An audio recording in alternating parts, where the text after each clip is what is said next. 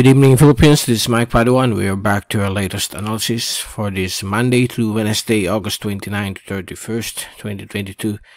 And uh, this is brought to you by Typhoon 2000. Now, this is our English version of the latest weather situation in and around the Philippine Islands and uh, across the Western Pacific. We have a rapidly developing typhoon right now. This is Hinnamnor, which developed during the past 24 hours. It's a rapidly intensifying tropical cyclone with a small uh, circumference or very, very small circulation. And it's likely to grow in size as it moves closer to the south of Okinawa based on the uh, latest uh, forecast uh, models. Uh, this uh, small typhoon will eventually reach super typhoon status within the next 24 to 48 hours right now. It has winds of 185 kph. And alongside of Hinnamnor, we have a uh, low pressure area. This was once 98W and is also trying to organize over the uh, Philippine Sea. And we are also keeping an eye on this uh, low pressure system. But in the long run, this LPA will be absorbed into the circulation of the much stronger Hinnamnor as it moves closer towards Okinawa area. So what will be the forecast? It will enter the Philippine area of responsibility. That's the latest forecast since a ridging high pressure, a building high pressure ridge to the north of uh, this system will push it temporarily more to the south until it reaches just to the east of Taiwan below 25 north. So it will enter par and likely it will be named as uh, Gardo by Pagasa. So we'll keep you updated. We'll be issuing storm watches on this system once a day tropical cyclone advisory on this uh, tropical cyclone. But the good news let's not be worried on this system since it is uh, not expected to directly affect any parts of the country. So let's proceed now with our graph shot. You can clearly see here some cloudiness with thunderstorms across Mindanao because of a surface trough. The rest of the Philippine Islands will remain hot and sunny high heat index reaching a high, high of uh, around 45 degrees centigrade will be expected all throughout the archipelago with some afternoon or evening rain showers and thunderstorms across the western sections of northern and central Luzon. Watch out for possible flash floods, landslides when we have this uh, extreme or severe localized thunderstorms.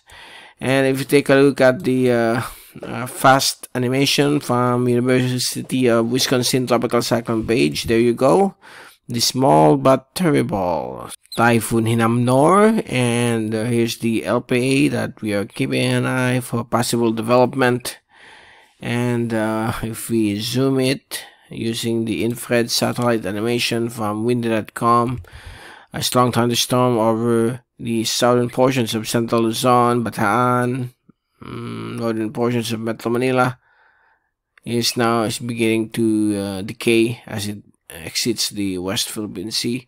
Here's another LPA 98W that we are keeping an eye, but uh, based on the model, this system will be absorbed into the circulation of uh, Typhoon Hinnamnor. Okay, and uh, let's take a look now on the track of all Asian agencies monitoring Hinnamnor and for the next uh, three days the system will move more to the west southwest entering the Philippine area of responsibility late uh, August 31st or Wednesday or September 1st August uh, Thursday. September 1st Thursday and it will remain quasi-stationary over this area to the south of Okinawa east of Taiwan and maybe some uh, effects will be felt across the uh, northern seaboards of extreme northern Luzon, including Batanes, because of the uh, large wind area of this uh, tropical cyclone once it reaches the lower portions of the uh, uh, once it reaches the northern portions of the uh, Philippine Sea.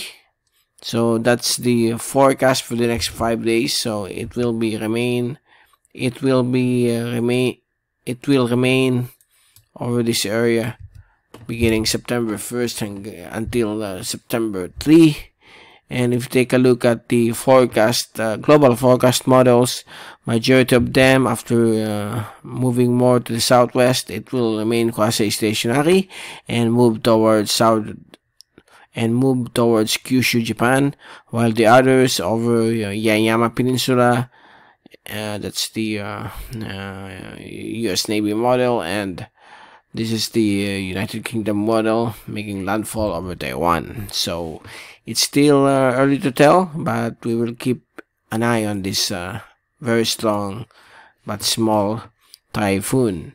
Here's the uh, pressure and wind forecast from uh, windy.com. This is the European model. So that's the uh, track that the system will do. Okay, by the way, this is the American model, not the uh, European model yet. And there you go. It will eventually move out and make landfall over western Japan. While the European model is also the same, okay, it will dive down more to the uh, east of Taiwan and remain quasi-stationary before moving towards the north back to Okinawa area. And uh, for the rain forecast until uh, Thursday, we expect some afternoon and evening rain showers, the local, localized ones, affecting the uh, various sections of the country. Wednesday afternoon, again, more thunderstorms will be in store as there will be a slight westerly to southwesterly wind flow or a weak habagat. And on Thursday, September 1st, uh, still some westerly winds will be expected with isolated rain showers and thunderstorms, particularly over Luzon and Mindanao. But the southwest monsoon, during the presence of uh, Himan, uh, during the presence, during the presence of Hinan, Hinnamnor, during during the presence, during the presence of Hinnamnor, during the presence of Hinnamnor, will eventually slightly during the presence of Hinnamnor, the system during the presence during the presence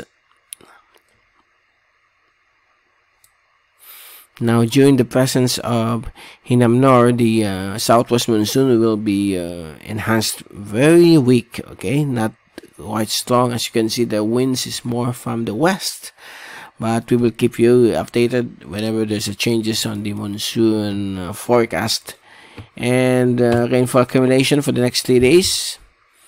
Uh, the rainfall are more focused over uh, northern Luzon and the central Luzon area and also Mindanao. And here's the other LPA. Okay, so that's it. That's the latest for this evening. And we will return by uh, Wednesday or even tomorrow to give you a special coverage on this uh, fast moving typhoon. But we will keep you updated. For the meantime relax. No need to panic. This system is not expected to directly affect any part of the country. It is expected just to linger to the east of Taiwan before moving more to the north by uh, between September 2 to 3 so uh, uh, let's hope and pray that it stays that way. Again this is Mike Padua reporting. See you again in the next uh, 24 to 48 hours uh, from Typhoon 2000. Thank you so much for watching our channel.